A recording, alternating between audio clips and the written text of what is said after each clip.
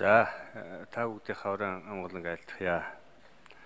За энэ хуулийг бас цаашид батлах зайлшгүй шаардлагатай байхаа гэж бодож байна. Ялангуяа энэ гадаадын банкыг оруулах асуудлыг цаашид ярих шаардлагатай гэж үзэж байгаа. Яагаад тэгэхээр өнөөдөр гадаадын банкыг оруулах асуудлыг үндэсний аюулгүй байдалтай холбож ингэж ярьж тайлбарлаж ирсэн л дээ сүүлийн жилүүдэд.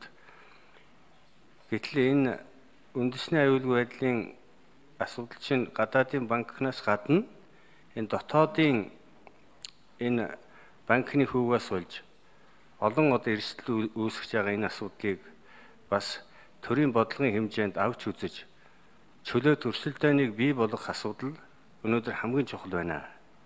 Өнөөдөр энэ арилжааны хитгэн банк өнөөдөр Монголын банк санхүүгийн зах зээлийг бүхэлд нь барьж ямар ч өрсөлдөөн байхгүй болсноос болж өнөөдрийн энэ нөхцөл байдал үүссэн. Ийм учраас хаана хаана энэ судалгаа гаргаж зоригтой дөрвтэй шийдвэр гаргаж энэ эрсдлээ энэ эрсдэлтэй энэ эдийн засгийн бууралтаас гарах шаардлагатай байгаа гэж үзэж байгаа.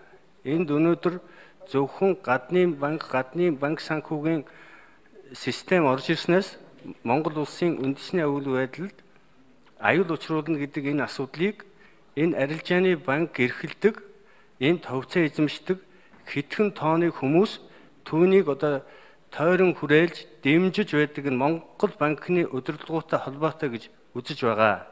Ийм учраас цаашд энэ асуудлыг